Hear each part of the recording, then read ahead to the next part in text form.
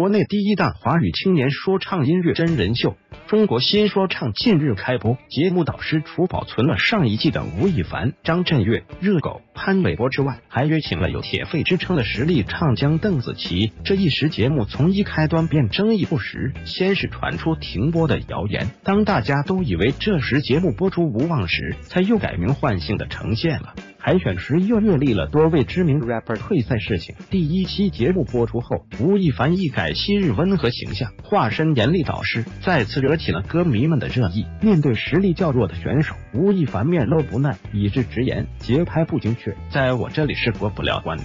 这么严厉直接的态度，让旁边的其他导师感到压力山大。点评总结的十分，吴亦凡也是不留情面，一针见血的说：“今年我很绝望，去年我没有见到这么多的同样失误的选手，这可能也跟之前不少 rapper 退赛有关吧。”招致优质的说唱歌手流失，吴亦凡坚持专业的态度值得肯定，但他的严厉也的确给他招来了不少费事。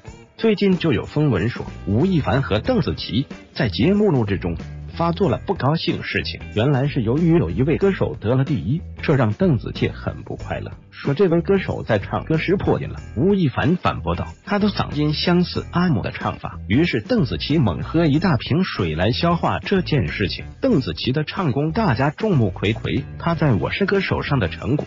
就是他实力的表现，但是歌迷对邓紫棋在说唱范畴的表现却没有太多理解。不过他在节目中先赞扬后倡议，坚持着自然和谦卑，让观众看着十分的舒适。经过这个节目，让更多的人理解说唱，同时开展中国说唱，为群众呈现中国的顶尖说唱，这才是导师们和每个音乐人努力的方向。大家说，小编说的对吗？好了。